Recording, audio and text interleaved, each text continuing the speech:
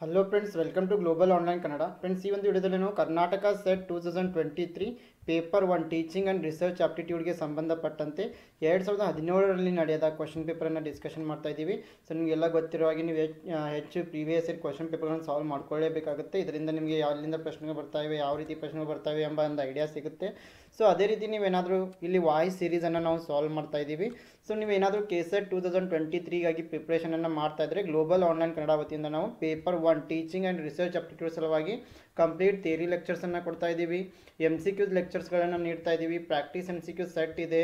ಜೊತೆಗೆ ಐವತ್ತು ಮಾಕ್ ಟೆಸ್ಟ್ಗಳನ್ನು ನೀಡ್ತಾ ಇದ್ದೀವಿ ಮತ್ತು ನೋಟ್ಸನ್ನು ನೀಡ್ತಾ ಇದ್ದೀವಿ. ಜೊತೆಗೆ ಪ್ರೀವಿಯಸ್ ಇಯರ್ ಕ್ವಶನ್ ಪೇಪರ್ಸ್ ಎರಡು ಸಾವಿರದ ಹದಿಮೂರರಿಂದ ಇಪ್ಪತ್ತೊಂದರವರೆಗಿನ ಎಲ್ಲ ಕ್ವಶನ್ ಪೇಪರ್ಸ್ಗಳನ್ನು ಸಾಲ್ವ್ ಮಾಡಿದ ಪಿ ಡಿ ಎಫ್ ಮತ್ತು ವೀಡಿಯೋಸನ್ನು ಕೊಡ್ತಾ ಇದ್ದೀವಿ. ಇಂಗ್ಲೀಷ್ ಮತ್ತು ಕನ್ನಡ ಎರಡು ಲ್ಯಾಂಗ್ವೇಜ್ನಲ್ಲಿ ಇದು ನಿಮಗೆ ಅವೈಲೇಬಲ್ ಇದೆ. ಕೇವಲ ಟೂ ತೌಸಂಡ್ ರುಪೀಸ್ನಲ್ಲಿ ಸೊ ಇದಕ್ಕಾಗಿ ನೀವು ಗ್ಲೋಬಲ್ ಆನ್ಲೈನ್ ಆ್ಯಪನ್ನು ಡೌನ್ಲೋಡ್ ಮಾಡಿಕೊಂಡು ರಿಜಿಸ್ಟರ್ ಮಾಡಿ ಜಾಯಿನ್ ಆಗ್ಬೋದು. ಅದೇ ರೀತಿ K S to two thousand twenty three paper two all ಸಬ್ಜೆಕ್ಟ್ಗಾಗಿ ನಾವು ಇಲ್ಲಿ ಕಂಪ್ಲೀಟ್ ನೋಟ್ಸನ್ನು ನೀಡ್ತಾ ಇದ್ದೀವಿ. ಮತ್ತು four thousand plus M C Q ಸೆಟನ್ನು ಕೊಡ್ತಾ ಇದ್ದೀವಿ. ಕೇವಲ ತೌಸಂಡ್ ರುಪೀಸ್ನಲ್ಲಿ ಸೊ ಇದಕ್ಕಾಗಿ ನೀವು ಈ ಗ್ಲೋಬಲ್ ಆನ್ಲೈನ್ ಆ್ಯಪನ್ನು ಡೌನ್ಲೋಡ್ ಮಾಡ್ಕೋಬೇಕು. ರಿಜಿಸ್ಟರ್ ಮಾಡಿ ಸರ್ಚ್ ಫಾರ್ ಕೋರ್ಸಸ್ನಲ್ಲಿ ಆ K S E two thousand twenty three paper one ಅಥವಾ ಪೇಪರ್ ಟು ಅಂತ ಸರ್ಚ್ ಮಾಡಿದ್ರೆ ಕೋರ್ಸ್ ನಿಮಗೆ ವಿಸಿಬಲ್ ಆಗ್ತಾ ಇದೆ. ಸೊ ನೀವು ಬೈ ನೋ ಮೇಲೆ ಕ್ಲಿಕ್ ಮಾಡಿ ಜಾಯಿನ್ ಆಗ್ಬೋದು. So now let us move to the questions. Here the first question is humidity in the air. Option A increases air temperature. Option B decreases air temperature. Option C has no effect on air temperature. Option D maintains air temperature. ವಾತಾವರಣದಲ್ಲಿರುವ ತೇವಾಂಶ ಹವೆಯ ಉಷ್ಣತೆಯನ್ನು ಹೆಚ್ಚಿಸುತ್ತದೆ ಹವೆಯ ಉಷ್ಣತೆಯನ್ನು ಕುಗ್ಗಿಸುತ್ತದೆ ಹವೆಯ ಉಷ್ಣತೆ ಮೇಲೆ ಯಾವುದೇ ಪರಿಣಾಮ ಬೀರುವುದಿಲ್ಲ ಹವೆಯ ಉಷ್ಣತೆಯನ್ನು ಕಾಪಾಡಿಕೊಳ್ತಾ ಇದೆ so here the right answer is option B humidity in the air decreases air temperature so ವಾತಾವರಣದಲ್ಲಿ ತೇವಾಂಶ ಹವೆಯ ಉಷ್ಣತೆಯನ್ನು ಕಡಿಮೆ ಮಾಡ್ತಾ ಇದೆ. ಆಪ್ಷನ್ ಬಿ ಸರಿಯಾಗಿದೆ. So as air temperature increases air can hold more water molecules and it's relative humidity is going to decrease so this you must remember temperature ಮತ್ತು ಈ ಒಂದು ಹ್ಯುಮಿಡಿಟಿ ನಡುವೆ ಅಪೋಸಿಟ್ ರಿಲೇಷನ್ಶಿಪ್ ಇರುತ್ತೆ. When temperature decreases humidity increases question number to who describe dams as pilgrim centres of development ಅಣೆಕಟ್ಟುಗಳು ಅಭಿವೃದ್ಧಿಯ ಯಾತ್ರಾ ಸ್ಥಳಗಳು ಅಂತ ಹೇಳಿದವರು ಯಾರು option A Mahatma Gandhi option B Rajiv Gandhi option C J R D Tata option D Jawaharlal Nehru the right answer is option D Jawaharlal Nehru So Jawaharlal Nehru himself, who famously called dams of, temp- of te- temples of modern India in, in 1954. Question number three. State which of the following is false. Modern agriculture increased per capita food, food production. Option B. Modern agriculture makes soil infertile. Option C. Modern agriculture controls pollution. Option D. Modern agriculture protects biodiversity. ಕೆಳಗಿನ ಯಾವ ಹೇಳಿಕೆ ಸುಳ್ಳಾಗಿದೆ ಆಧುನಿಕ ಕೃಷಿ ತಲಾ ಆಹಾರ ಉತ್ಪಾದನೆಯನ್ನು ಹೆಚ್ಚಿಸಿತು ಆಧುನಿಕ ಕೃಷಿ ಮಣ್ಣಿನ ಶಕ್ತಿಯನ್ನು ಕುಗ್ಗಿಸುತ್ತದೆ, ಆಧುನಿಕ ಕೃಷಿ ಮಾಲಿನ್ಯವನ್ನು ಹಿಡಿತದಲ್ಲಿಡುತ್ತದೆ, ಆಧುನಿಕ ಕೃಷಿ ಜೀವ ವೈವಿಧ್ಯವನ್ನು ಕಾಪಾಡುತ್ತದೆ. ಸೊ ಇಲ್ಲಿ ಆಧುನಿಕ ಕೃಷಿ ಜೀವ ವೈವಿಧ್ಯವನ್ನು ಕಾಪಾಡುತ್ತದೆ, ಆಧುನಿಕ ಕೃಷಿ ಮಣ್ಣಿನ ಶಕ್ತಿಯನ್ನು ಕಡಿಮೆ ಮಾಡ್ತಾ ಇದೆ. ಆದರೆ ಇದರಿಂದ ಕೃಷಿಯ ತಲಾದಾಯ ತಲಾ ಉತ್ಪಾದನೆ ಕೂಡ ಹೆಚ್ಚಾಗಿದೆ. ಆದರೆ ಇಲ್ಲಿ ಏನಾಗಿದೆ ಅಂತಂದರೆ ಆಧುನಿಕ ಕೃಷಿ ಕೃಷಿ ವೈವಿಧ್ಯವನ್ನು ಕಾಪಾಡುತ್ತದೆ ಅಲ್ಲ, ಇದು ಇಲ್ಲಿ ತಪ್ಪಾಗಿದೆ. ಆಧುನಿಕ ಕೃಷಿ ಕೃಷಿಯಿಂದ ಆಹಾರ ಉತ್ಪಾದನೆ ಹೆಚ್ಚಾಗ್ಬೋ ಹೆಚ್ಚಾಗ್ತಾ ಇದೆ ಆದರೆ ಮಣ್ಣಿನ ಫಲವತ್ತತೆ ಕೂಡ ಕಡಿಮೆ ಆಗ್ತಾ ಇದೆ ಮತ್ತು ಜೊತೆಗೆ ಇದು ಮಾಲಿನ್ಯವನ್ನು ಹಿಡಿ, ಹಿಡಿದಿಡಬಹುದು. ಇಲ್ಲಿ ನಾವು ಕೃಷಿ ಮಾಲಿನ್ಯವನ್ನು ಕಡಿಮೆ ಮಾಡುವ ಹಲವಾರು ಉಪಕರಣಗಳನ್ನು ಬಳಕೆ ಮಾಡ್ತಾ ಇದ್ದೀವಿ ಆದರೆ ಇದರಿಂದ ಏನಾಗ್ತಾ ಇದೆ ಜೀವ ವೈವಿಧ್ಯ ಹಾಳಾಗ್ತಾ ಇದೆ so modern agriculture protects biodiversity this statement is false So, modern agriculture is an evolving approach which innovations in farming practices that helps in increasing agricultural efficiency and reduce the loss of natural resources. But at the same time, uh, modern agriculture is not going to protect biodiversity.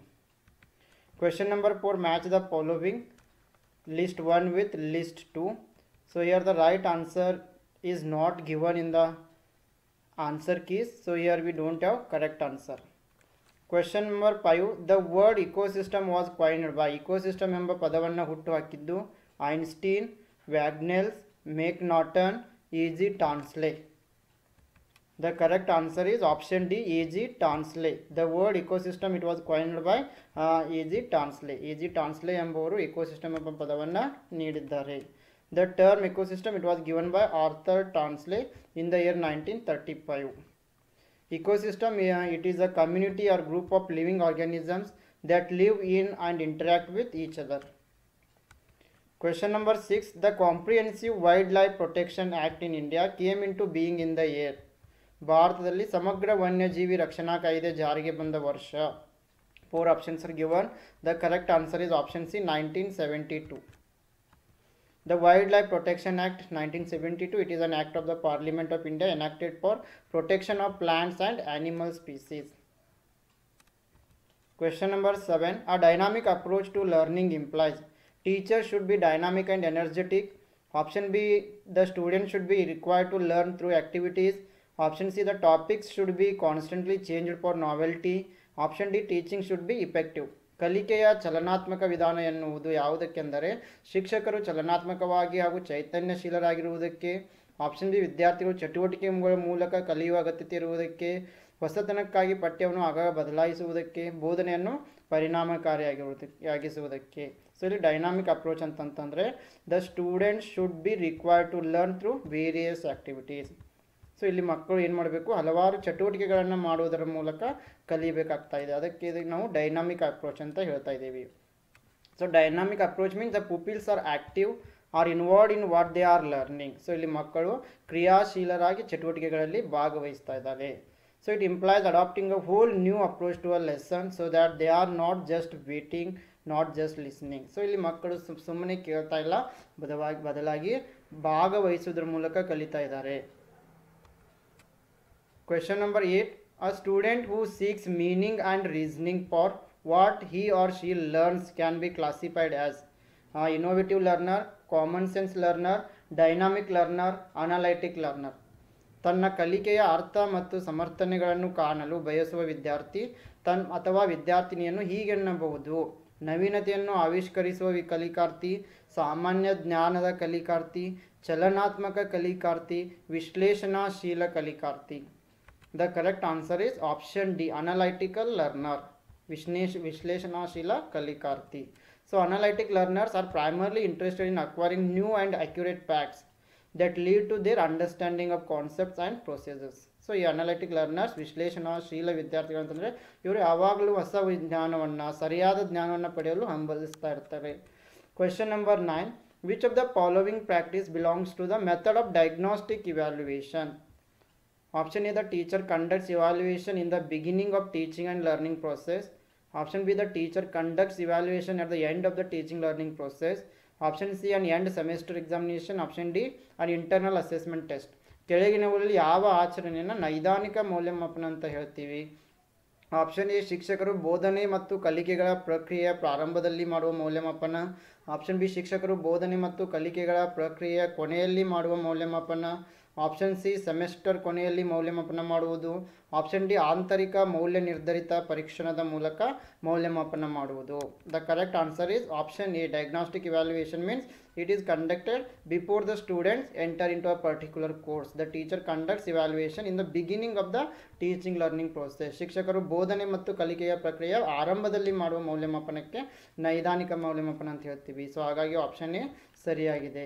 Question number ten A pragmatic educational philosophy would believe that option A all learning is entirely dependent on the teacher. Option B learning is the sole responsibility of the student. Option C all learning is dependent on the context of place, time and circumstances. Option D learning is an interactive process between the teacher and the students. ಫಲಪ್ರಮಾಣದ ಶಿಕ್ಷಣದ ತತ್ವ ನಂಬಿಕೆ ಎಂದರೆ ಎಲ್ಲ ಕಲಿಕೆಯು ಸಂಪೂರ್ಣವಾಗಿ ಶಿಕ್ಷಕರನ್ನು ಅವಲಂಬಿಸಿರುತ್ತದೆ. ಕಲಿಕೆಯು ಸಂಪೂರ್ಣವಾಗಿ ವಿದ್ಯಾರ್ಥಿಗಳ ಹೊಣೆಯಾಗಿರುತ್ತದೆ. ಎಲ್ಲ ರೀತಿಯ ಕಲಿಕೆಯು ಸ್ಥಳ ಮತ್ತು ಸಮಯ ಮತ್ತು ಸಂದರ್ಭಗಳ ಸನ್ನಿವೇಶವನ್ನು ಅವಲಂಬಿಸಿರುತ್ತದೆ. ಕಲಿಕೆಯು ಶಿಕ್ಷಕ ಮತ್ತು ವಿದ್ಯಾರ್ಥಿಯ ನಡುವಿನ ಅನ್ಯೋನ್ಯ ಪ್ರಕ್ರಿಯೆಯಾಗಿರುತ್ತದೆ. Yes the right answer is option C pragmatic value educational philosophy would believe that all learning is dependent on the context of place time and circumstances so ಇದರ ಪ್ರಕಾರ ಎಲ್ಲ ರೀತಿಯ ಕಲಿಕೆಯು ಸ್ಥಳ, ಸಮಯ ಮತ್ತು ಸಂದರ್ಭಗಳ ಸನ್ನಿವೇಶವನ್ನು ಅವಲಂಬಿಸಿರುತ್ತದೆ. Question number eleven which of the following is an example of intervening variable an instructional material teacher student administration intervening ಚಲಕಕ್ಕೆ ಉದಾಹರಣೆ ಯಾವುದು? ಬೋಧನಾ ಸಾಮಗ್ರಿ, ಶಿಕ್ಷಕ, ವಿದ್ಯಾರ್ಥಿ, ಆಡಳಿತ. Yes the right answer is Option A an instructional material it is an example for intervening variable ಬೋಧನಾ ಸಾಮಗ್ರಿ ಎಂಬುದೇನಾಗಿದೆ ಇಲ್ಲಿ ಇಂಟರ್ವಿನಿಂಗ್ ವೇರಿಯೇಬಲ್ ಆಗಿದೆ So intervening variables refers to abstract processes that are not directly observable but that link the dependent and independent variable. For example, students are dependent variable, teacher is independent variable, instructional materials, language, all these are known as the intervening variables. Means uh, they are uh, uh, creating a link between dependent and independent variables. Question number 12 Which of the following does not apply to micro teaching? Focus on developing teaching skills, feedback for trainees' performance, limited number of students a very wide and large topic ಕೆಳಗಿನವುಗಳಲ್ಲಿ ಯಾವುದು ಸೂಕ್ಷ್ಮ ಅನುಬೋಧನೆಗೆ ಅನ್ವಯವಾಗುವುದಿಲ್ಲ ಶಿಕ್ಷಣದ ಕೌಶಲ್ಯವನ್ನು ವೃದ್ಧಿಪಡಿಸುವುದರಲ್ಲಿ ಕೇಂದ್ರೀಕೃತವಾಗಿರುವುದು ತರಬೇತಿಗೊಳ್ಳುವವರ ಕಾರ್ಯನಿರ್ವಹಣೆಯ ಪುನರ್ನಿರ್ವಿಷ್ಟ, ಮಿತವಾದ ವಿದ್ಯಾರ್ಥಿಗಳ ಸಂಖ್ಯೆ, ಬಹುದೊಡ್ಡದಾದ ಮತ್ತು ವಿಶಾಲವಾದ ವಿಷಯ. The right answer is option D this micro teaching does not apply for wide and large topic ದೊಡ್ಡದಾದ ಮತ್ತು ವಿಶಾಲದ ವಿಷಯಗಳಿಗೆ ಸೂಕ್ಷ್ಮ ಅನುಬೋಧನೆ ಅನ್ವಯವಾಗುವುದಿಲ್ಲ. So micro teaching it is a teacher training and faculty development technique where the teacher reviews a recording of a teaching session. Question number 13. If any a person uses official uniforms of naval authorities to falsely represent himself to be a naval officer, he or she shall be guilty of an offense under. ಯಾವುದಾದರೂ ವ್ಯಕ್ತಿ ತನ್ನನ್ನು ಸುಳ್ಳಾಗಿ ನೌಕಾಧಿಕಾರಿ ಎಂದು ಬಿಂಬಿಸಿಕೊಳ್ಳಲು ನೌಕಾಧಿಕಾರಿಯ ಸಮವಸ್ತ್ರ ದುರುಪಯೋಗಪಡಿಸಿಕೊಂಡರೆ ಅವನು ಅಥವಾ ಅವಳು ಯಾವ ಕಾಯ್ದೆಯಡಿ ತಪ್ ತಪ್ಪಿತಸ್ಥರು yes option A police act nineteen ninety two option B official secrets act nineteen twenty three option C protection of civil rights act nineteen fifty five option D unlawful activities prevention act nineteen sixty seven the correct answer is option B official secrets act nineteen twenty three ಅಧಿಕೃತ ರಹಸ್ಯ ಕಾಯ್ದೆ ಹತ್ತೊಂಬತ್ತು ನೂರ ಇಪ್ಪತ್ತ್ಮೂರು question number sixteen Indian press council consists of chairman and 27 other members 28 members excluding chairman chairman and 29 other members, chairman and 28 other members. ಭಾರತೀಯ ಪತ್ರಿಕಾ ಮಂಡಳಿಯಲ್ಲಿರುವುದು ಅಧ್ಯಕ್ಷರು ಮತ್ತು ಇಪ್ಪತ್ತೇಳು ಜನ ಸದಸ್ಯರು, ಅಧ್ಯಕ್ಷರ ಹೊರತಾಗಿ ಇಪ್ಪತ್ತೆಂಟು ಜನ ಸದಸ್ಯರು, ಅಧ್ಯಕ್ಷರು ಮತ್ತು ಇಪ್ಪತ್ತೊಂಬತ್ತು ಜನ ಸದಸ್ಯರು, ಅಧ್ಯಕ್ಷರು ಮತ್ತು ಇಪ್ಪತ್ತೆಂಟು ಜನ ಸದಸ್ಯರು. The right answer is option D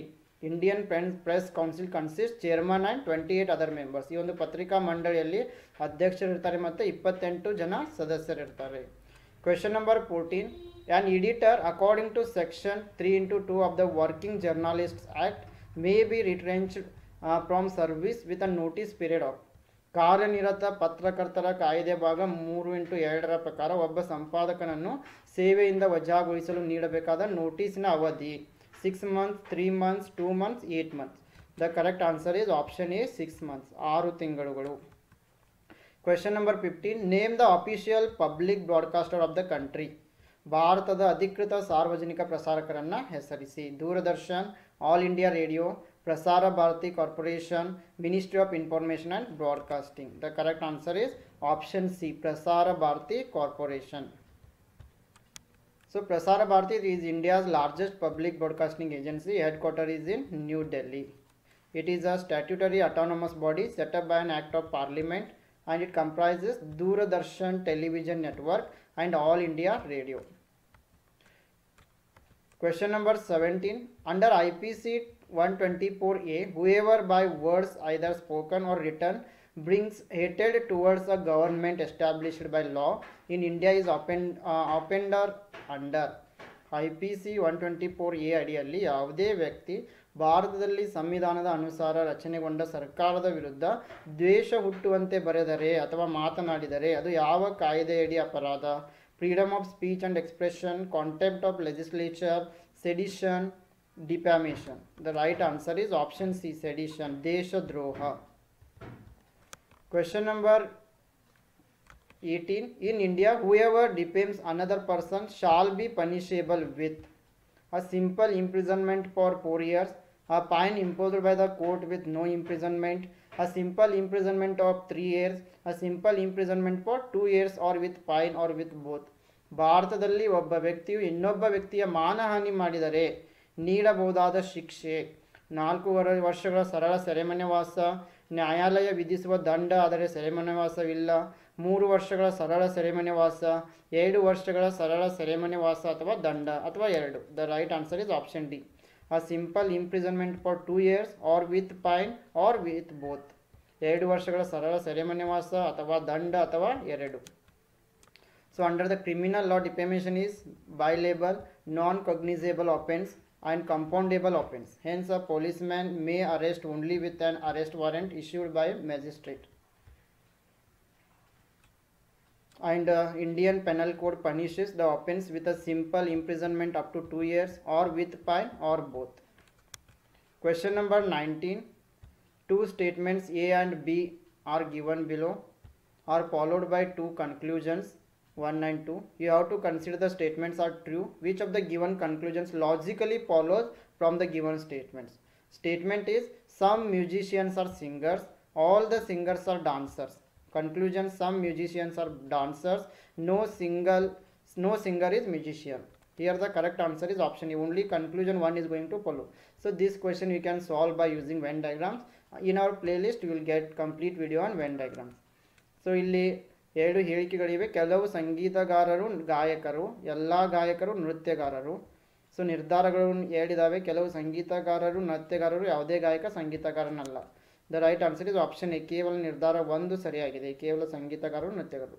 so ಇದ್ರ ಬಗ್ಗೆ ನಮ್ಮಲ್ಲಿ ಒಂದು ಪ್ಲೇಲಿಸ್ಟ್ನಲ್ಲಿ ವೆನ್ ಡೈಗ್ರಾಮಲ್ಲಿ ಒಂದು ಕಂಪ್ಲೀಟ್ ವಿಡಿಯೋ ಇದೆ, ನೀವು ಅದನ್ನು ನೋಡ್ಕೊಳ್ಬಹುದು. Question number twenty in the following question a statement is followed by two conclusions one nine two so you have to assume everything in the statement to be true then consider the two conclusion and decide which of them logically follows statement is the government of India has decided to allocate rupees hundred crores each year for 5 years for developing smart cities project. Conclusion 1 rupees 500 crores is not sufficient for developing smart cities project in India. Conclusion 2 rupees 500 crores is adequate for developing smart cities project in India. The right answer is option C. If either conclusion 1 or conclusion 2 follows. So ಇಲ್ಲಿ ಹೇಳಿಕೆ ಏನಿದೆ ಭಾರತ ಸರ್ಕಾರವು smart ನಗರಗಳ ಯೋಜನೆಗೆ ನೂರು ಕೋಟಿ ಪ್ರತಿ ವರ್ಷ ಐದು ವರ್ಷಗಳ ಕಾಲ ನಿಯೋಜಿಸಲು ನಿರ್ಧರಿಸಿದೆ ನಿರ್ಧಾರ ಒಂದು ರೂಪ, ರೂಪಾಯಿ ಐದುನೂರು ಕೋಟಿಯು ಸ್ಮಾರ್ಟ್ ನಗರಗಳನ್ನು ಭಾರತದಲ್ಲಿ ಅಭಿವೃದ್ಧಿಪಡಿಸಲು ಸಾಕಾಗುವುದಿಲ್ಲ. ರೂಪಾಯಿ ಐದುನೂರು ಕೋಟಿ ಸ್ಮಾರ್ಟ್ ನಗರಗಳನ್ನು ಭಾರತದಲ್ಲಿ ಅಭಿವೃದ್ಧಿಪಡಿಸಲು ಸಾಕಾಗುವುದು. ಸೊ ಇಲ್ಲಿ ಯಾವುದೂ ಫಾಲೋ ಮಾಡಲ್ಲ. ಸೊ ಆಪ್ಷನ್ ಸಿ ಸರಿಯಾಗಿದೆ. ಸೊ ಸಾರಿ ಎರಡರಲ್ಲಿ ಒಂದನ್ನು ಅನುಸರಿಸ್ತಾ ಇದೆ. Question number twenty one the question below is followed by two arguments one and two decide which of the argument is strong and which is weak statement is should all the infrastructure development projects in India be given to the private sector? Argument 1. No private sector units are not equipped with necessary assets to execute such project. Argument 2. Yes, in a developing country such project could be executed by the private sector. The correct answer is option D if neither argument 1 nor argument 2. So ಇಲ್ಲಿ ಹೇಳಿಕೆ ಏನಿದೆ? ಭಾರತದ ಎಲ್ಲ ಮೂಲ ಸೌಕರ್ಯ ಅಭಿವೃದ್ಧಿ ಯೋಜನೆಗಳನ್ನು ಖಾಸಗಿ ವಲಯಕ್ಕೆ ನೀಡಬೇಕೇ? ವಾದ ಒಂದು, ಇಲ್ಲ, ಖಾಸಗಿ ವಲಯದ ಘಟಕಗಳು ಇಂಥ ಯೋಜನೆಗಳನ್ನು ಕಾರ್ಯಗತಗೊಳಿಸಲು ಅವಶ್ಯಕ ಸ್ವತ್ತುಗಳನ್ನು ಹೊಂದಿಲ್ಲ. ವಾದ ಎರಡು, ಹೌದು, ಅಭಿವೃದ್ಧಿಶೀಲ ರಾಷ್ಟ್ರದಲ್ಲಿ ಇಂಥ ಯೋಜನೆಗಳನ್ನು ಖಾಸಗಿ ವಲಯಗಳು ಕಾರ್ಯಗತಗೊಳಿಸಬಹುದು. ಸೊ ಇಲ್ಲಿ ಸರಿಯಾದ ಉತ್ತರ ಆಪ್ಷನ್ ಡಿ. ವಾದ ಒಂದು ಅಥವಾ ವಾದ ಎರಡು ಎರಡು ಪ್ರಬಲವಾಗಿಲ್ಲ. Question number twenty 22. If the statement all students are intelligent is true, which of the following statement is false? No student are students are intelligent, some students are intelligent, some students are not intelligent. ಎಲ್ಲ ವಿದ್ಯಾರ್ಥಿಗಳು ಬುದ್ಧಿವಂತರು ಎಂದು ನಿಜವಾದಲ್ಲಿ ಕೆಳಗಿನವುಗಳಲ್ಲಿ ಸುಳ್ಳು ಹೇಳಿಕೆ ಯಾವುದು ಯಾವುದೇ ವಿದ್ಯಾರ್ಥಿಯು ಬುದ್ಧಿವಂತನಲ್ಲ ಕೆಲವು ವಿದ್ಯಾರ್ಥಿಗಳು ಬುದ್ಧಿವಂತರು ಕೆಲವು ವಿದ್ಯಾರ್ಥಿಗಳು ಬುದ್ಧಿವಂತರಲ್ಲ the right answer is option B one and three so yes one and three Question number 23. Choose the pair of words which show the same relationship. Uh, protagonist character, ನಾಯಕ ಪಾತ್ರ ಅದೇ ರೀತಿ man immigration bird migration food adulteration frog estival the right answer is option B bird migration ನಾಯಕ ಪಾತ್ರ ಅದೇ ರೀತಿ ಪಕ್ಷಿ ವಲಸೆ So protagonist character, protagonist refers to the main character in a play. Similarly, bird migration. Migration refer to movement of birds from one place to another place. Question number 24. There are where there were six friends A, B, C, D, A, and F. Everyone is good in one of the following games: baseball, volleyball, carom, hockey, TT, and polo. Each owns a different colored car: yellow, green, black, white, blue, and red. D plays polo and has yellow car. She does not play TT and hockey and owns neither blue nor yellow car. He has white car and plays baseball. B doesn't play TT, he has red car. A plays carom and has black car. Uh, based on this information, answer the following question. Which colored car Yap owns and which game Yap plays? The right answer is option C, yellow and polo. So just make the list of uh, A, B, C, D, E and their car. Colour color of car, then game, easily get the answer. So ಇದಕ್ಕೆ ನೀವು ಆರು ಜನ ಸ್ನೇಹಿತರು A B C D ಮತ್ತು F ಅಂತ ಇದ್ದಾರೆ. ಅವರು baseball volleyball carrom hockey T T ಮತ್ತು ಪೋಲೋನ ಆಡ್ತಾ ಇದ್ದಾರೆ. ಪ್ರತಿಯೊಬ್ಬರು ಒಂದು ಕಾರನ್ನು ಹೊಂದಿದ್ದಾರೆ. ಹಳದಿ, ಹಸಿರು, ಕಪ್ಪು, ಬಿಳಿ, ನೀಲಿ ಮತ್ತು ಕೆಂಪು. ಡಿ ಪೋಲೋ ಆಡುತ್ತಾನೆ, ಹಳದಿ ಬಣ್ಣದ ಕಾರನ್ನು ಹೊಂದಿದ್ದಾನೆ. ಸಿ ಹಾಕಿ ಮತ್ತು ಟಿ ಟಿ ಆಡುವುದಿಲ್ಲ. ನೀಲಿ ಅಥವಾ ಹಳದಿ ಕಾರಿನ ಮಾಲೀಕನಲ್ಲ. ಈ ಹತ್ತಿರ ಬಿಳಿ ಕಾರಿದೆ ಮತ್ತು ಬೇಸ್ಬಾಲ್ ಆಡುತ್ತಾನೆ. ಬಿ ಟಿ ಟಿ ಆಡುವುದಿಲ್ಲ. ಮತ್ತು ಕೆಂಪು ಕಾರಿನ ಮಾಲೀಕ. ಎ ಕೇರ ಮಾಡುತ್ತಾನೆ ಮತ್ತು ಕಪ್ಪು ಕಾರಿನ ಮಾಲೀಕ. ಸೊ ಪ್ರಶ್ನೆ ಏನಿದೆ? ಎಫ್ ಯಾವ ಬಣ್ಣದ ಕಾರು ಹೊಂದಿದ್ದಾನೆ ಮತ್ತು ಯಾವ ಆಟ ಆಡುತ್ತಾನೆ? ಆಪ್ಷನ್ ಸಿ ಸರಿಯಾಗಿದೆ. ನೀಲಿ, ಟಿ ಟಿ ಸೊ ಇದಕ್ಕೆ ನೀವು ಸರಿಯಾಗಿ ಲಿಸ್ಟನ್ನು ಮಾಡಿ ಬಿಡಿಸಬಹುದು question number twenty five research ethics does not include honesty integrity subjectivity objectivities the right answer is subjectivity ಸಂಶೋಧನಾ ನೀತಿಯು ವಿಷಯ ನಿಷ್ಠತೆಯನ್ನು ಒಳಗೊಂಡಿರುವುದಿಲ್ಲ Question number 26 Newton's discovery of the law of gravity belongs to fundamental research, applied research, action research, quantitative research. ನ್ಯೂಟನ್ನ ಅನ್ವೇಷಣಾ ಗುರುತ್ವಾಕರ್ಷಣೆಯ ನಿಯಮವು ಸಂಬಂಧಪಟ್ಟಿರುವುದು ಮೂಲಭೂತ ಸಂಶೋಧನೆ ಅನ್ವಯಿಕ ಸಂಶೋಧನೆ ಕ್ರಿಯಾ ಸಂಶೋಧನೆ ಪರಿಮಾಣಾತ್ಮಕ ಸಂಶೋಧನೆ the right answer is option A fundamental research ಮೂಲಭೂತ ಸಂಶೋಧನೆ Fundamental research, it is also known as the experimental or theoretical research. It is work taken primarily to acquire new knowledge. It will increase scientific knowledge of the researcher. Question number 27. While sampling, if a research researcher decides to interview every 15th name on a list, it is an example of quota sampling, systematic sampling, deliberate sampling, sequential sampling. ಸಂಶೋಧಕನು ಪ್ರತಿ ದರ್ಶದ ಪಟ್ಟಿಯಲ್ಲಿರುವ ಪ್ರತಿ ಹದಿನೈದನೇ ಹೆಸರಿನವರನ್ನು ಸಂದರ್ಶಿಸಲು ತೀರ್ಮಾನಿಸಿದರೆ ಆ ಪ್ರತಿ ದರ್ಶಕಗಳಲ್ಲಿ ಯಾವುದಕ್ಕೆ ಉದಾಹರಣೆ the right answer is option B systematic sampling ಕ್ರಮಬದ್ಧ Pratidarsha. Systematic sampling, it is probability sampling method where researchers select members of the population at a regular interval. For example, every 15th person. Question number 28. UGC insists on research papers to be published in journal with U G ಸಿಯು ಸಂಶೋಧನಾ ಪ್ರಬಂಧಗಳನ್ನು ಪ್ರಕಟಿಸುವ ಜರ್ನಲ್ಗಳು ಇವುಗಳ ಸಂಬಂಧವನ್ನು ಹೊಂದಿರಬೇಕೆಂದು ಆಗ್ರಹಿಸುತ್ತದೆ I S S N number I Registration number serial number the right answer is option A I S S N number International Standard Serial Number. Question number 29. External validity in research refers to the rigor of the study, the accuracy of a procedure, the relation of the research problem with the researcher personal life, the extent of generalizability that the results provide. ಸಂಶೋಧನೆಯಲ್ಲಿ ಬಾಹ್ಯ ಸಿಂಧುತ್ವ ಎನ್ನುವುದು ಯಾವುದಕ್ಕೆ ಸಂಬಂಧಪಟ್ಟಿದೆ ಅಂದರೆ ಅಭ್ಯಾಸದ ತೀವ್ರತೆ, ಕ್ರಮದ ನಿರ್ದಿಷ್ಟತೆ, ಸಂಶೋಧನೆಯ ವಿಷಯವು ಸಂಶೋಧಕನ ನೈಜ ಜೀವನಕ್ಕೆ ಹೊಂದಿರುವ ಸಂಬಂಧ ಪಡೆಯುವ ಫಲಿತಾಂಶವನ್ನು ಎಷ್ಟರ ಮಟ್ಟಿಗೆ ಸಾಮಾನ್ಯಕರಣಗೊಳಿಸಬಹುದು? The right answer is option D external validity means the extent of generalisability that the results provide ಬಾಹ್ಯ ಸಿಂಧುತ್ವ ಅಂದರೆ ಪಡೆಯುವ ಫಲಿತಾಂಶವನ್ನು ಎಷ್ಟರ ಮಟ್ಟಿಗೆ ಸಾಮಾನ್ಯೀಕರಣಗೊಳಿಸಬಹುದು? External validity is the extent to which you can generalise the findings of a study. to the situation, to the people, or to the measures. Question number 30. When the likely effects of an incident on a dependent variable are investigated, it is known as ಅವಲಂಬಿತ ಚಲಕದ ಮೇಲೆ ಪ್ರಾಸಂಗಿಕವಾಗಿ ಆಗಬಹುದಾದ ಪರಿಣಾಮವನ್ನು ತನಿಖೆ ಮಾಡುವುದಕ್ಕೆ ಏನಂತೀವಿ survey research ex post facto research action research field investigation The correct answer is option B ex post facto research. Question number 31 University News, it is a weekly journal brought out by university news ಎಂಬ ವಾರಪತ್ರಿಕೆಯನ್ನು ಹೊರತಂದ ಸಂಸ್ಥೆ NAAC U G C A I U M H R D the correct answer is option C A I U association of Indian universities question number thirty two name the director of NAAC. ನ್ಯಾಕ್ನ ನಿರ್ದೇಶಕರು. So ಇದು two thousand ಸೆವೆಂಟೀನ್ಗೆ ಸಂಬಂಧಪಟ್ಟಂತೆ. So ಇದಕ್ಕೆ ಸರಿ ಉತ್ತರವನ್ನು ಇಲ್ಲಿ ನೀಡಿರಲಿಲ್ಲ. Question number thirty three expand RUSA RUSA ಅಂತಂದರೆ the right answer is option B Rashtriya Uchchatar Shiksha Abhiyan So Rashtriya Uchchatar Shikshan Abhiyan, it is holistic scheme of development for higher education in India. It was initiated in 2013 by Ministry of Human Resource Development. It is cen- uh, centrally sponsored scheme. Question number 34. The Constitution of India was adopted by the Constituent Assembly on ಸಂವಿಧಾನ ರಚನಾ ಸಭೆಯಲ್ಲಿ ಭಾರತೀಯ ಸಂವಿಧಾನಕ್ಕೆ ಒಪ್ಪಿಗೆ ದೊರೆತ ದಿನ four options are given the right answer is option B twenty six November nineteen forty nine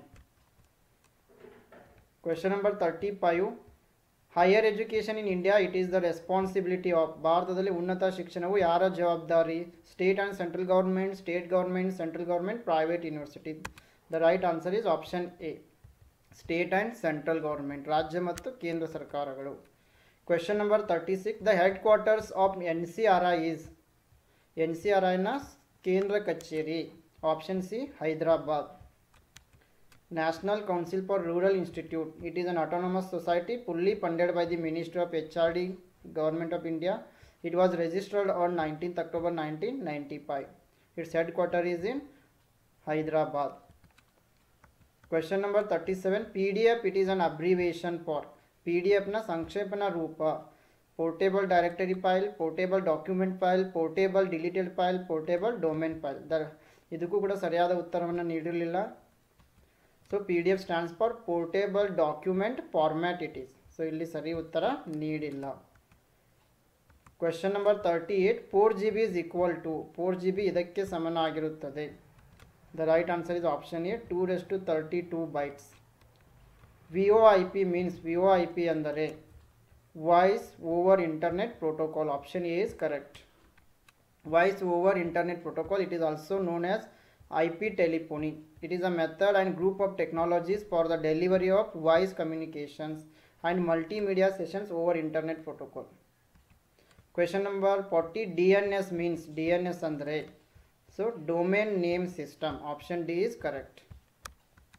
So DNS it stands for domain name system. It is a directory service that provides a mapping between the name of a host, host of the network and its numerical address.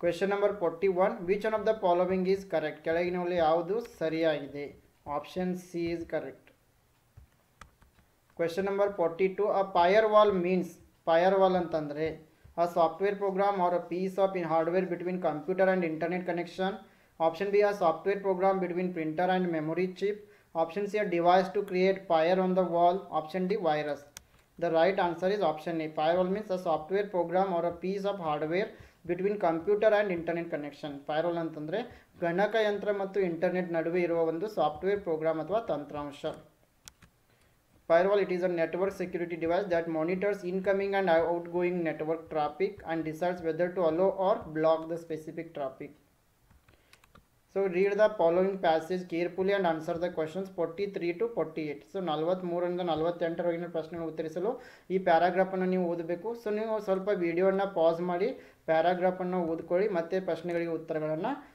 ನೀವು ಹುಡುಕ್ಕೊಳ್ಳಿ. ನಾನು ಉತ್ತರಗಳನ್ನ ಹೇಳ್ತಾ ಹೋಗ್ತೀನಿ. So ನೀವು ಸ್ವಲ್ಪ ವಿಡಿಯೋನ pause ಮಾಡಿ ನೀವು ಪ್ಯಾರಾಗ್ರಾಫನ್ನು ಸರಿಯಾಗಿ ಓದ್ಕೊಳ್ಳಿ.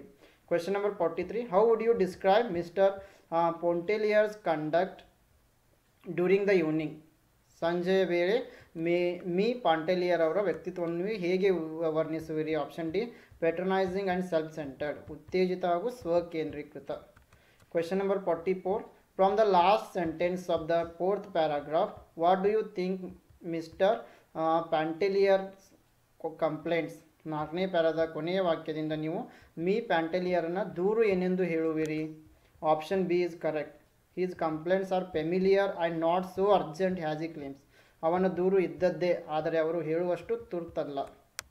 Question number forty five Mrs mistress Pontellier's emotions and reactions in paragraph seven and eight suggest that para ಏಳು ಮತ್ತು ಎಂಟರಲ್ಲಿನ ಮಿಸ್ಸೆಸ್ ಪ್ಯಾಂಟೆಲಿಯರರ ಉದ್ವೇಗ ಮತ್ತು ಪ್ರತಿಕ್ರಿಯೆಗಳು ಏನು ಹೇಳ್ತವೆ ಅಂತಂದರೆ option C is correct she is acknowledging her unhappiness ಅವಳು ತನ್ನ ಅಸಂತೋಷವನ್ನು ತೋರ್ಪಡಿಸಿಕೊಳ್ಳುತ್ತಿದ್ದಾಳೆ. Question number forty six the passage shows Mister Pontellier's Pontellier as happiest when he ಈ ಪಠ್ಯವು ಮೀ ಪ್ಯಾಂಟೆಲಿಯರ್ನು ಅತ್ಯಂತ ಸಂತೋಷವಾಗಿರುವುದು ಯಾವಾಗ? Option D is away from home or is about to leave home ಮನೆಯಿಂದ ಹೊರಗಿದ್ದಾಗ ಅಥವಾ ಮನೆಯಿಂದ ಹೊರಡುವಾಗ. Question number forty seven what is the idea communicated through the last sentence of the eighth paragraph ಎಂಟನೇ ಪ್ಯಾರಾದ ಕೊನೆಯ ವಾಕ್ಯದ ಮೂಲಕ ತಿಳಿಸುವ ಆಲೋಚನೆ ಯಾವುದು? Option B is correct Mrs Pontellier's was forced to go inside Mrs ಪಾಂಟೆಲಿಯರು ಒಳಗೆ ಹೋಗಬೇಕಾಯಿತು. Question number forty eight what justification is given in the passage for Mister Pontellier's inability to look after children me ಪಾಂಟೆಲಿಯರನು ತನಗೆ ಮಕ್ಕಳನ್ನು ನೋಡಿಕೊಳ್ಳಲು ಸಾಧ್ಯವಿಲ್ಲ ಎನ್ನುವುದಕ್ಕೆ ಈ ಪಠ್ಯದಲ್ಲಿ ಹೇಗೆ ಪ್ರತಿಪಾದಿಸುತ್ತಾನೆ? Option C is very busy with business. ತನ್ನ ವ್ಯಾಪಾರದಲ್ಲೇ ಅವನು ನಿರತನಾಗಿರುತ್ತಿದ್ದ. Question number forty nine, if nine men and twelve boys can do a piece of work in four days and four men and sixteen boys can do the same piece of work in six days, how long will six men and twenty four boys take to complete the work?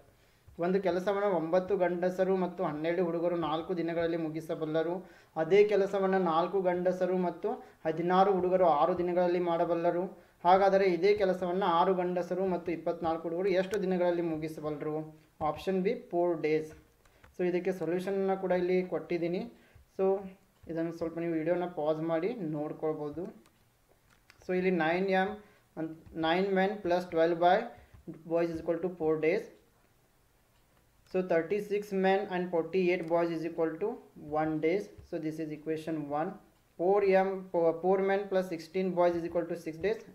ಪ್ರಶ್ನೆಯಲ್ಲಿ ಕೊಟ್ಟಿದ್ದಾರೆ twenty four men plus ninety six boys equal to one day equation two so ನಾವು ಈಗ ಎರಡು ಇಕ್ವೇಷನ್ಗಳನ್ನು ಸೇರಿಸಬೇಕಾಗುತ್ತೆ thirty six M plus forty eight boys is equal to twenty four M plus ninety six B so ಇದನ್ನು ನಾವು ಬಿಡಿಸಿದಾಗ one men is equal to four boys so next nine M plus twelve B is equal to four days so ಇದನ್ನು ಕ್ವೆಶನಲ್ಲಿ ಕೊಟ್ಟಿದ್ದಾರೆ. Nine into four plus twelve into B ಇಲ್ಲಿ ನಾವು ಕಂಡುಹಿಡಿದಿದ್ದೀವಿ.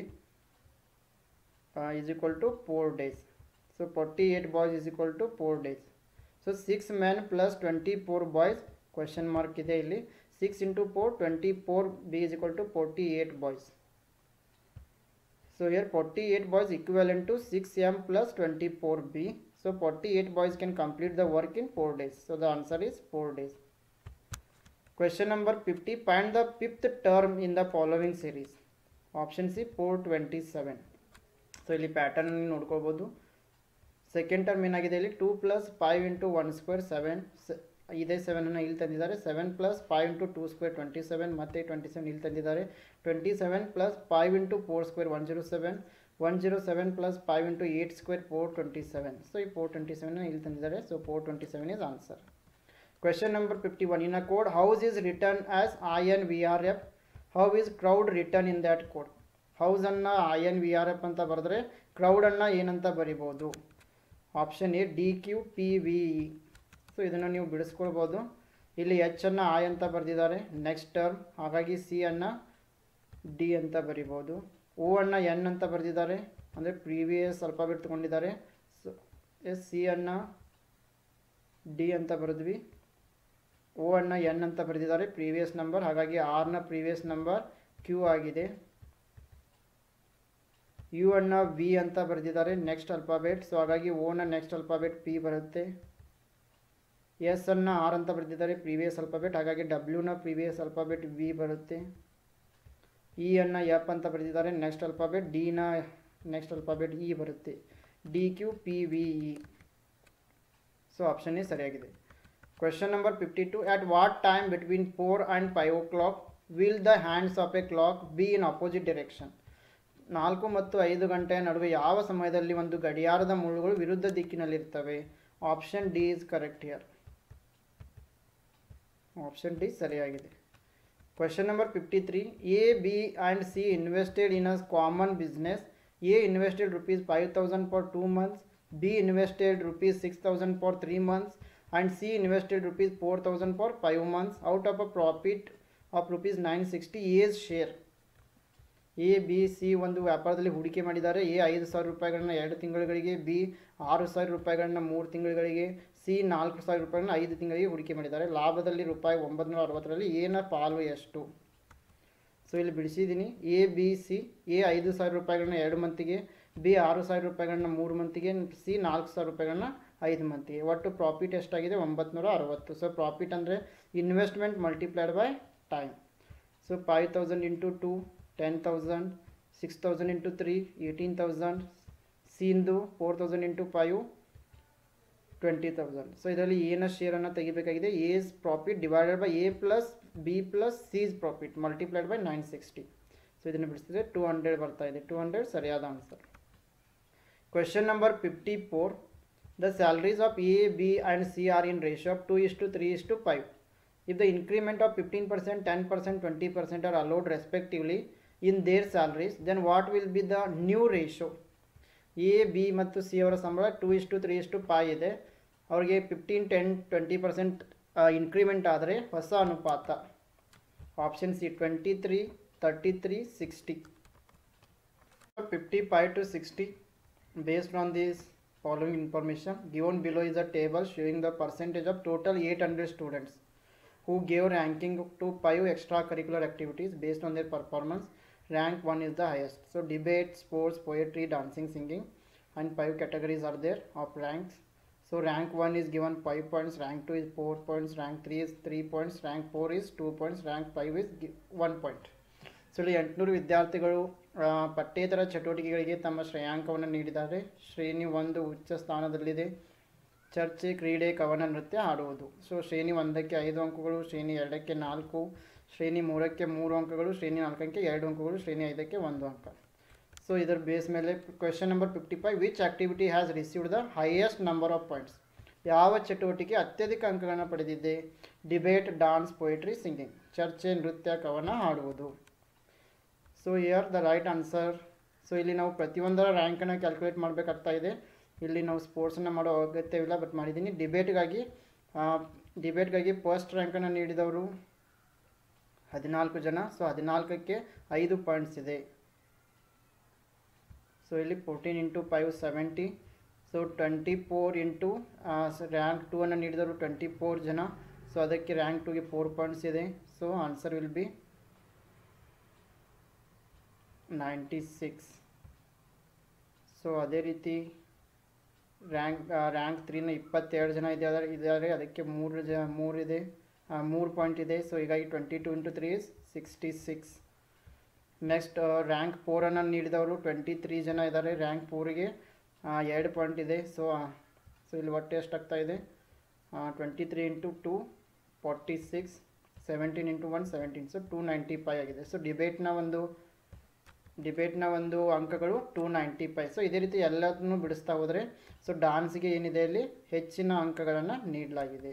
So the right answer is option B dancing question number fifty six how many students give rank four to sports ಎಷ್ಟು ಜನ ವಿದ್ಯಾರ್ಥಿಗಳು ಕ್ರೀಡೆಗೆ ಶ್ರೇಣಿ ನಾಲ್ಕನ್ನು ನೀಡಿದ್ದಾರೆ? Sports rank four to sports so ಇವಾಗ ಇಲ್ಲಿ how many students gave rank four to sports so ಇಲ್ಲಿ ನೋಡಿದರೆ ರ್ಯಾಂಕ್ ಫೋರನ್ನು ಸ್ಪೋರ್ಟ್ಸ್ಗೆ ನೀಡಿದವರು ಟ್ವೆಂಟಿ ಪರ್ಸೆಂಟ್ ಇದ್ದಾರೆ. ಸೊ ಒಟ್ಟು students eight hundred total students are eight hundred and sports twenty percent students are given rank so twenty upon hundred into eight hundred one sixty students the answer is one sixty option A is correct question number fifty seven which extra curricular activities consider the least important poetry singing sports dancing ಯಾವ ಪಠ್ಯೇತರ ಚಟುವಟಿಕೆ ಕನಿಷ್ಠ ಪ್ರಾಮುಖ್ಯತೆಯನ್ನು ಹೊಂದಿದೆ? Please ಇದಕ್ಕಾಗಿ ಎಲ್ಲ ಥರದ್ದು ನಾವು ರ್ಯಾಂಕನ್ನು ಅಂಕಗಳನ್ನು ತೆಗಿಬೇಕಾಗ್ತಾ ಇದೆ.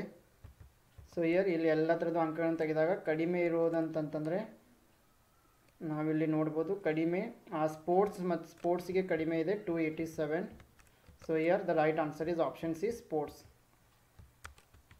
question number fifty eight what is the ratio of the number of students who gave poetry a rank one two and four to the number of students who gave debate a rank three five and one ಯಾವ ಅನುಪಾತದಲ್ಲಿ ಎಷ್ಟು ವಿದ್ಯಾರ್ಥಿಗಳ ಸಂಖ್ಯೆಯು ಕವನ ಶ್ರೇ, ಕವನ ಶ್ರೇಣಿಗೆ, ಶ್ರೇ ಕವನಕ್ಕೆ ಶ್ರೇಣಿ ಒಂದು, ಎರಡು, ನಾಲ್ಕು, ಎಷ್ಟು ಜನ ವಿದ್ಯಾರ್ಥಿಗಳು ಚರ್ಚೆಗೆ? ಮೂರು, ಐದು, ಒಂದು. So here number of students who gave poetry rank 1, 2 and 4. 1, 2 and 4. 122, 218, fourth one is 21. So the total answer is 61. Number of students who gave debating rank 3, 5, 1, 22 plus 17 plus 14, 53. So the ratio is 61 is to 53 question number 59 what is the difference between the number of students gave rank 2 to debating plus dancing and the students who gave rank 3 to singing plus dancing? So here number of students who gave rank 2 to debating plus dancing is 24 plus 19 yes rank 2 for debating 23 plus dancing 19 sorry uh, then it is 43 next number of students who gave rank 3 to singing plus dancing. Singing plus dancing 20 plus 18 it is 38 so 43 divided by 100 into 800 is 344 38 divided by 100 into 800 is 304 so the so 344 minus 304 the difference is 40 so the answer is 40 here option a is correct the difference between the number of students who gave rank 2 to debating plus dancing and the students who gave rank 3 to singing plus dancing is 40 question number sixty last question how many students gave rank one to dancing ಎಷ್ಟು ಜನ ವಿದ್ಯಾರ್ಥಿಗಳು ನೃತ್ಯಕ್ಕೆ ಶ್ರೇಣಿ ಒಂದನ್ನು ನೀಡಿದರು so here the percentage the students who gave rank one to dance is 26 percent. So 26 percent total number of students are 800 so 26 divided by 100 into 800 is 208 so the answer option b 208 is correct. Okay friend this is about our today's session. If you are preparing for karnataka site 2023 for paper 1 we are providing theory lectures mcq lectures practice mcq set 50 mock tests plus notes and previous year questions with answers only at rupees 2000 you can, uh, and for paper 2 preparation we are providing complete notes plus 4000 plus mcqs only at rupees 1000 so you can download global online app from the play store and in search for courses you can search KSET 2023 paper 1 or paper 2 then you will get the course yes i wish all the best to all